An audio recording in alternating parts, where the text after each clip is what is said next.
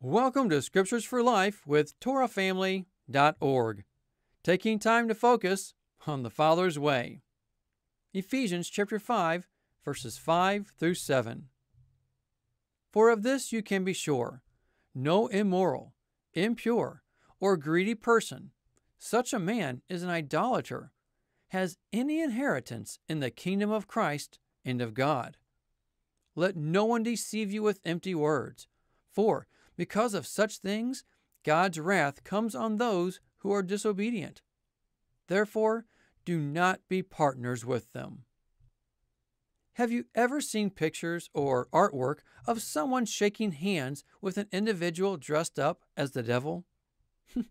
I don't know about you, but those kinds of images are just creepy to me. Who in their right mind would do such a thing? Right? However, Verse 7 here is giving us the same picture. Therefore, do not be partners with them.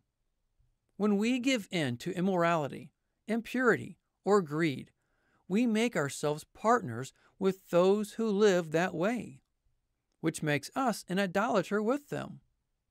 These become the gods you serve. You make them into an idol, just like those who follow the ways of the world. So, who are you shaking hands with? Let this be a focus in your time of meditation throughout the day. Until next time, Shalom.